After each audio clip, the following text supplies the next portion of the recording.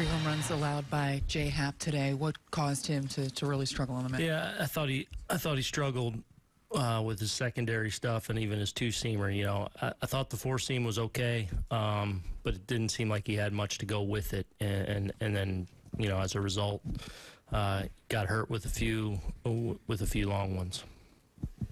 Who else? Kenny.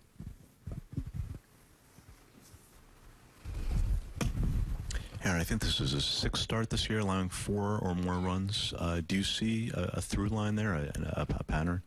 Well, I mean, a fly ball pitcher that you know his the key for him is being precise, and that's what he's been good at. You know, throughout his career, and when he's been good for us this year too.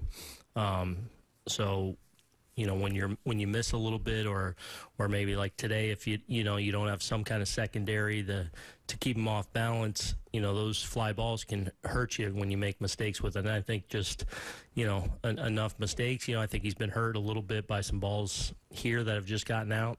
Um, but but I think that's a little bit of the storyline.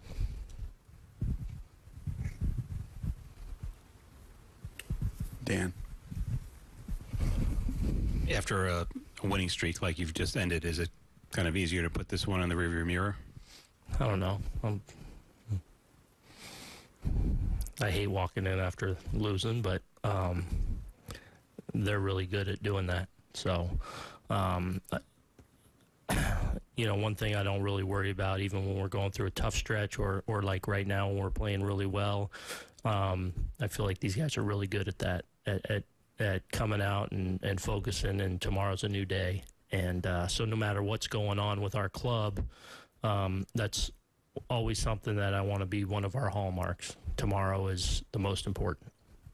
Tyler to the right. Aaron, you've played your two series now against Houston, and, and I know they didn't have some of their guys this weekend, and you didn't see Cole. But do you have a good, better sense now of how you match up with them, and how do you think you match up with with the Astros? Is there a fellow oh, power? Um, I mean, I think well. They're obviously a great team, um, and you know, we we may again cross paths.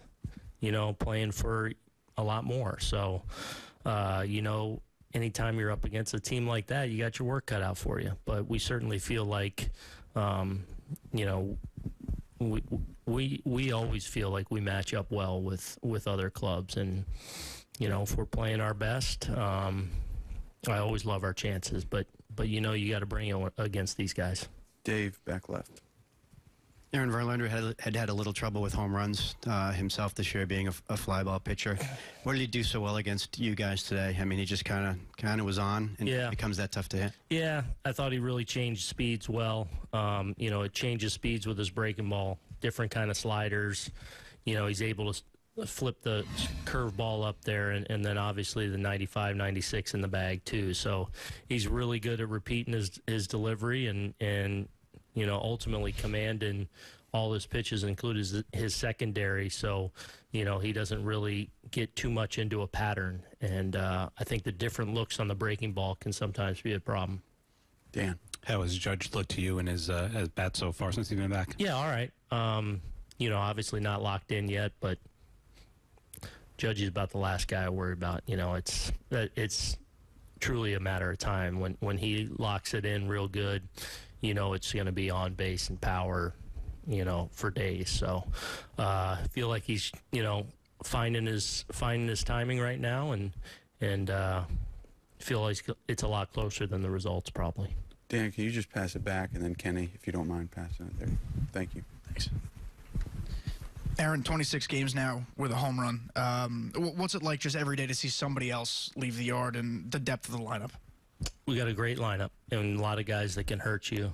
Um, um, you know, it, it's in a lot of ways one of the ways we're built, you know, and, and I think we do a really good job, especially in this ballpark, uh, and especially our right handed hitters of, of being able to use the entire field, which, you know, when you play here, um, is important if you're going to hit for consistent power, and, and, and our guys, for the most part, really do that well. Anyone else? Thank you, Aaron.